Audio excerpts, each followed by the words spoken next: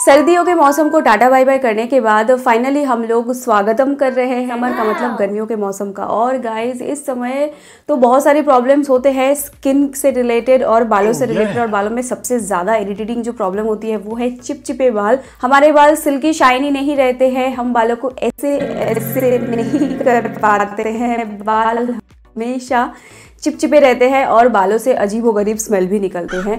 और इसी के साथ साथ जितना चिपचिपाहट बढ़ता है, उसके साथ साथ हेयर फॉल का जो क्वांटिटी है, वो भी बढ़ता रहता है। तो फिर हम क्या करें गर्मी के मौसम में अपने बालों के लिए?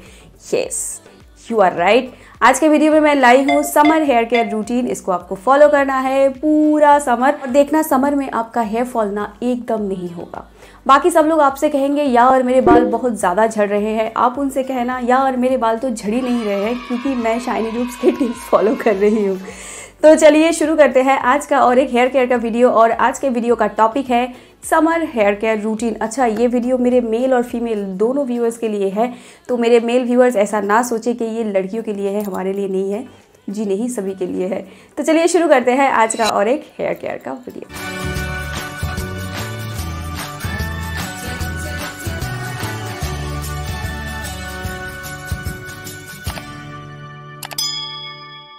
hi guys welcome to my channel Shiny Roops मेरा नाम रूपा है। आपने चैनल को सब्सक्राइब नहीं किया है नीचे सब्सक्राइब बटन है उसको प्रेस करके आप इस चैनल के सब्सक्राइबर बन सकते हो और उसके साथ साथ वीडियो अच्छा लगता है तो you can give me a like और इस वीडियो को आप शेयर भी कर सकते हैं। हेयर केयर का जो वीडियो है इसमें आज हम बात करने वाले हैं गर्मियों में आप बालों की कैसे देखभाल कर सकते हो। टिप नंबर वन सबसे पहले आपको ये जानना है कि बालों को आखिर प्रोटेक्ट हम कैसे करें क्योंकि पूरा समर तो हम घर पे नहीं बैठ सकते, हमें बाहर भी जाना पड़ेगा। तो उसके लिए क्या करें? जैसे हम अपने स्किन को डैमेज, सन डैमेज से प्रोटेक्ट करने के लिए सनस्क्रीन का इस्तेमाल करते हैं, कुछ उसी तरीके से आपको अपने बालों को भी प्रोटेक्ट करना है। गर्मियों में बालों को बिल्कुल खुला नहीं छोड़ना है। अगर आप दिन के समय बाहर जा रहे हैं तो मत खुला छोड़िए, रात में डेफिनेटली खोल सकते हो। और इस टाइम ना स्कार्फ मिलते हैं, बहुत अच्छे अच्छे डिफरेंट तरीकों के स्कार्फ मिलते हैं मार्केट में। उनको खरीद के आप अपने बालों पे कवर कर सकते हो, दिखने में बहुत स्टाइलिश भी लगते हैं स्कार्फ बैंड भी आते हैं। आप अपने बालों को ऐसे बन बना के यहाँ से लगा सकते हो, ये आपके बालों को प्रोटेक्ट करता है।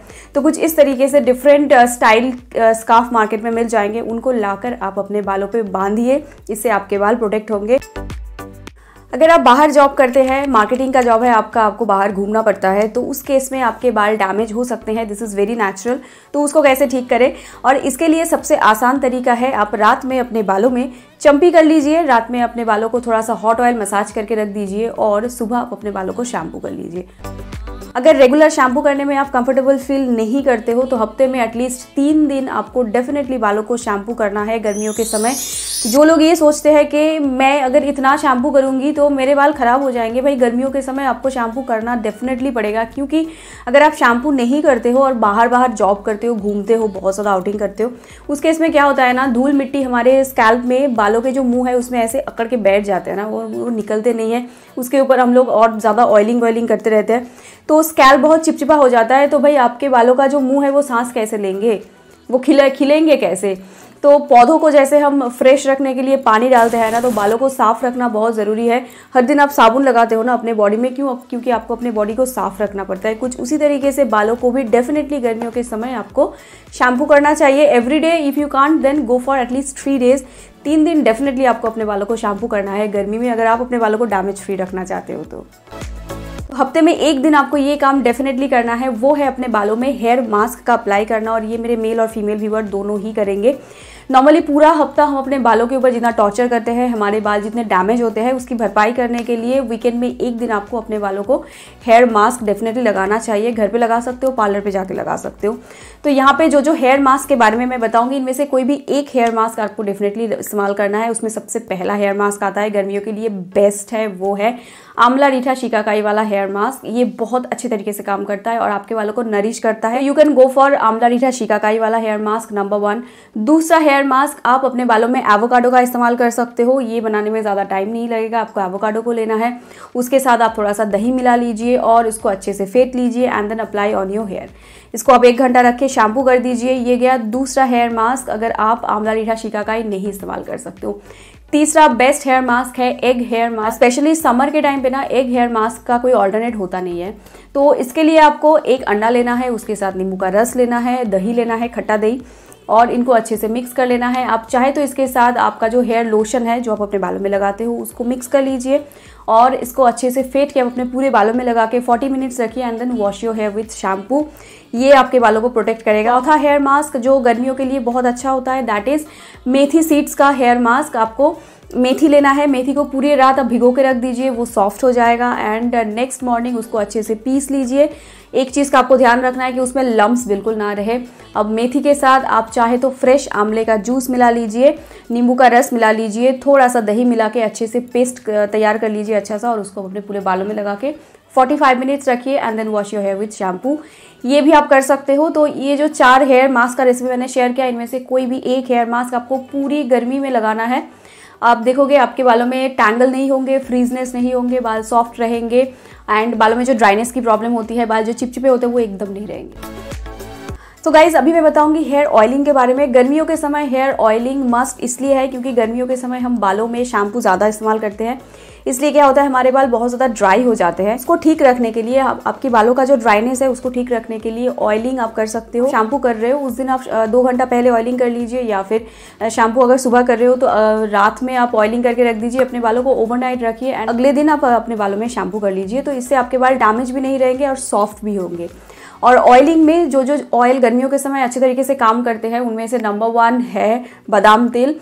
कोशिश ये करिए कि लाइट हेयर ऑयल का इस्तेमाल करें आप। सरसों के तेल को मैं कहूँगी थोड़ा सा अवॉइड कीजिए क्योंकि ये भारी तेल होता है। गर्मियों में हमारे स्कैल्प में ऑलरेडी पसीना रहता है। तो उसमें अगर आप भारी तेल लगाओगे तो वो आपके स्कैल्प के अंदर अच्छे से जाएँगे नहीं। तो उसको थोड़ा सा अवॉइड करके आप दूसरे तेल जैसे नट ऑयल हो गया बादाम तेल हो गया इनको लेकर अप्लाई कर सकते हो। केमिकल फ्री ऑयल को आप ज़्यादा इस्तेमाल करोगे तो अच्छा रहेगा। और इस आ, कोई भी हेयर ऑयल आप लगा रहे हो उसके साथ आपको आ, कुछ चीज़ें मिलाने हैं जो गर्मियों में आपके बालों को हेल्दी रखेंगे। उनमें से एक है aloe vera fresh aloe vera के पल्प ले लीजिए और उसको पका लीजिए किसी भी तेल के साथ जो आप लगा रहे हो अपने बालों में और उसको गर्मी में अपने बालों में लगाना है। इससे क्या होगा? आपके बाल अच्छे तरीके से नरिश रहेंगे मॉइस्चराइज रहेंगे और एलोवेरा हमारे बालों को डैमेज से बचाता है। तो ये आपके बालों को डैमेज से बचाएगा ये ऑयल तो पूरी गर्मी में आप इस तेल का इस्तेमाल करो। और इसके साथ आप जो भी एसेंशियल ऑयल वगैरह लगाते हो, उसको मिला लीजिए। प्रोसेस सेम है और अपने बालों को चंपी कर लीजिए। एंड गाइज़ फाइनल टिप जो आपको डेफिनेटली अवॉइड नहीं करना है, और वो है कंडीशनर को अप्लाई करना। गर्मियों में आपको अपने बालों में शैम्पू करने के बाद अच्छा सा कंडीशनर डेफिनेटली लगाना चाहिए, क्योंकि ये बालों को प्रोटेक्ट करता है सन डैमेज से और ये बेसिकली सनस्क्रीन जो हम अपने बॉडी पे लगाते हैं बॉडी को डैमेज से और टैन से बचाने के लिए कंडीशनर एग्जैक्टली exactly वही काम करता है। ये हमारे बालों को सन डैमेज से बचाता है। तो आप कोई भी कंडीशनर इस्तेमाल कर सकते हो। कुछ कुछ लोग कहते हैं कि जिस कंपनी का आप शैम्पू इस्तेमाल करते हो उसी कंपनी का कंडीशनर आपको इस्तेमाल करना है।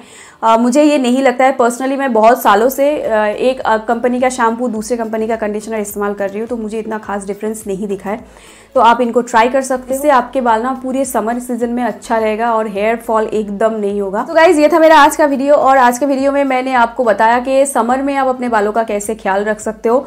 और ये मेरे मेल और फीमेल व्यूअर दोनों कर सकते हैं। जो हेयर ऑयल के बारे में मैंने बताया वो आप अपने घर के बच्चों के ऊपर भी अप्लाई कर सकते हो। उनके बाल भी अच्छे रहेंगे। जो बच्चे टीन जो है, वो स्कूल जाते हैं, अभी तो स्कूल खुल गया है तो स्कूल जाते हैं, उनके बाल भी डैमेज हो जाते हैं उनके बालों में भी आप ये ऑयल लगा सकते हो, वो उनके बाल भी अच्छे रहेंगे। तो इन सारी चीज़ों का ट्राई कीजिए ट्राई करके अपना फीडबैक मेरे साथ ज़रूर शेयर करना। अगर आपका कोई सवाल है तो कॉमेंट बॉक्स में कॉमेंट करके मुझसे पूछ सकते हो एंड आप मुझसे इंस्टा में भी बात कर सकते हो, वहाँ पर मेरा आईडी है। Shiny Roops S H I W N Y R W P S और उसमें कोई स्पेस नहीं लगेगा। तो आज के लिए बस इतना ही। बहुत जल्दी और एक वीडियो लेकर मैं फिर से हाजिर होंगी। तब तक के लिए खुश रहिए, मुस्कुराते रहिए अपना अपने स्किन का और अपने बालों का ख्याल रखिए और मेरे वीडियोज़ को देखते रहिए। Thank you for watching bye bye